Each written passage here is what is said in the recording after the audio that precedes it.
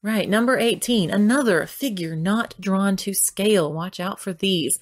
Two isosceles triangles are shown above. If 180 minus z equals 2y and y equals 75, what is the value of x?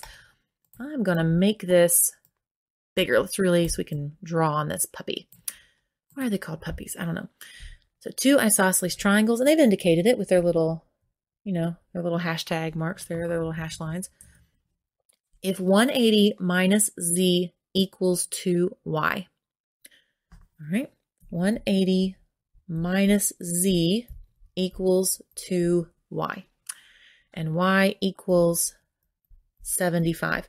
Well, they've told us what y equals. We can solve for z. First thing, that's what I'm going to do. So I go, oh, if y is 75, I can just plug it right in there. So let's do that. 180 minus z equals 2 times 75. 2 times 75 is 150.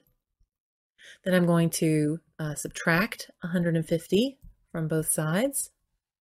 And I get 30 minus z equals 0. So 30 minus what equals 0? 30. I can go through all the algebra steps, but that one, you just want you to think about that. Go, hmm, 30 minus what would equal 0? 30, right? So z equals 30. Okay, so now I know right there, this is 30.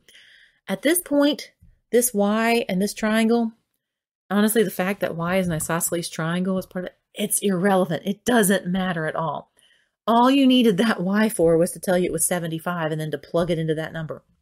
That's it. You don't need it anymore.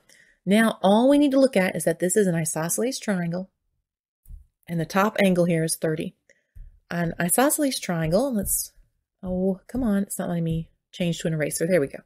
So an isosceles triangle, the big takeaway with an isosceles triangle that you need to know for this is that the base angles are congruent, always. So if this, I just rotated it.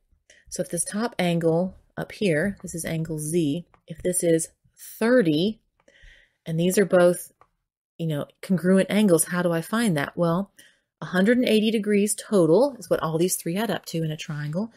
So what happens if I get rid of that 30 degrees? I get 150 left. So these two together equal 150 and they're identical. So you could say that as like x plus x equals, and actually let's not use x because we already have an x there and I don't want to do that. Let's call it a. So I have a plus a equals 150. I have two a's. So 150 is going to be divided by 2. It's 75. So each of these is 75 degrees. If you want to see that written out, 2a equals 150, and you divide both sides. I'm running out of room.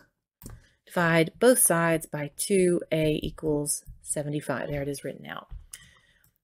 So now look back at our picture, and I know this angle right here in the corner that this is 75. Well, it is making a straight line with x.